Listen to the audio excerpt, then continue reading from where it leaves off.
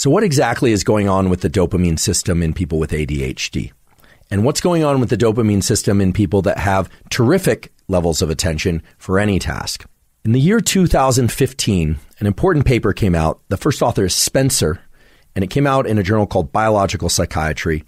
And it formalized the so called low dopamine hypothesis of ADHD. The idea that dopamine was somehow involved or not at the appropriate levels in people with ADHD had been around for a pretty long time. A formal proposition of the low dopamine hypothesis led to some really important experiments and understanding of what goes wrong in ADHD. It turns out that if dopamine levels are too low in particular circuits in the brain, that it leads to unnecessary firing of neurons in the brain that are unrelated to the task that one is trying to do and that is unrelated to the information that one is trying to focus on. So if you think back before, you've got this default mode network and a task related network, and they need to be in this kind of concert of anti correlation. And in ADHD, they're firing together. Well, the problem seems to be that when dopamine is low, certain neurons are firing when they shouldn't be. This is like a band, right? We'll go back to our band that's a guitar, a bass, and a, and a person playing the drums. And it's as if one of those or several of those instruments are playing notes when they shouldn't be playing. Right? The pauses in music are just as important as the actual playing of notes. When dopamine is too low, neurons fire more than they should in these networks that govern attention. This is the so called low dopamine hypothesis. And if you start looking anecdotally at what people with ADHD have done for decades, what you find is that they tend to use recreational drugs or they tend to indulge in non drug stimulants. So things like drinking six cups of coffee or quadruple espressos, or when it was more prominent, smoking a half a pack of cigarettes and drinking four cups of coffee a day.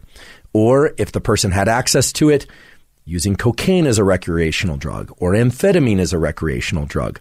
All of those substances that I just described increase levels of multiple neurotransmitters, but all have the quality of increasing levels of dopamine in the brain, and in particular, in the regions of the brain that regulate attention and these task related and default mode networks. Okay. Now, young children, fortunately, don't have access to those kinds of stimulants most of the time. And those stimulants all have high potential for abuse in adults. If you look at children, even very young children with ADHD, they show things like preference for sugary foods, which also act as dopamine inducing stimulants. Now, of course, once they get access to soda pop and coffee and tea, they start to indulge in those more than other people. For a long time, it was thought that children with ADHD consumed too many sugary foods or drank too much soda because they had poor levels of attention and because they couldn't make good decisions. They were too impulsive and so forth. An equally valid idea is that these children and these adults are actually trying to self medicate by pursuing these compounds. Right? Things like cocaine lead to huge increases in dopamine. Well, what happens with when somebody with ADHD takes that drug? It turns out they actually obtain heightened levels of focus. Their ability to focus on things other than things they absolutely care intensely about goes up.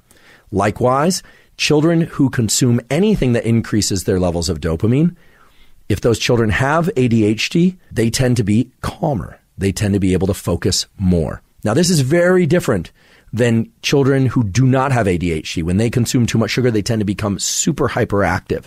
When they consume any kind of stimulant, they tend to go wild and run around like crazy.